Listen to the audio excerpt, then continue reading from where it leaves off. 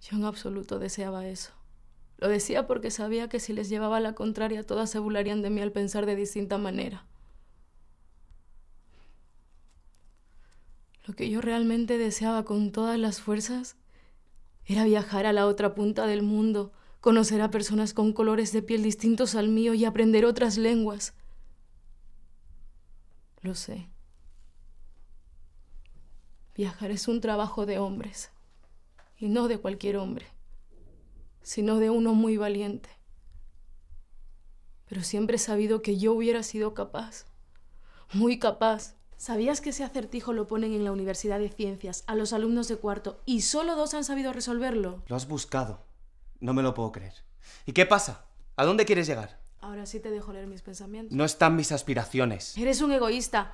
Casi nadie nace con un don así. Pues yo no lo quiero. ¿Qué te parece? ¿Podemos dejar el tema? ¿Pero por qué eres así? Para todo eres muy sensato, pero cuando sacan el tema relacionado con tu don, te pones borde y huyes de la conversación. Ya le he pillado alguna vez mirándome así como de reojo sin venir a cuento. Vale, somos amigos desde hace mucho y puede que simplemente sea confianza, pero es que estas cosas se notan. Además, yo siempre he sabido cuándo le gusta a un chico. Antes yo quería agradecerte a vos por haberlo puesto todo tan fácil, por haber dejado la casa tuya para el trabajo, por la amabilidad tuya conmigo, como pues un poco por todo. ¿Qué pensabas? ¿Que no iba a ser amable o qué? ¿Qué te han dicho de mí? No, no, no, parce, no me malinterpretes, no digo eso. Solo que como que no he tenido muy buenas experiencias desde que llegué y pues una ya no acostumbra a que la traten bien. Bueno, pues tranquila, ¿vale? ¿Qué te pasa? ¿Estás bien ahora? ¿Necesitas algo? Sí, sí, sí, fresco. Por mí, si querés, nos ponemos ya con el trabajo. No era necesario. Podrías haberme hecho daño con muchísimo menos si era lo que pretendías. No, no te vayas. Esta vez te has pasado. Lo siento. También tienes el don de estropearlo todo en menos de cinco minutos, ¿lo sabías? Tú podrías preguntarle como cosa tuya, en plan, oye, últimamente te he visto muy pendiente de Ana. A ver qué te dice.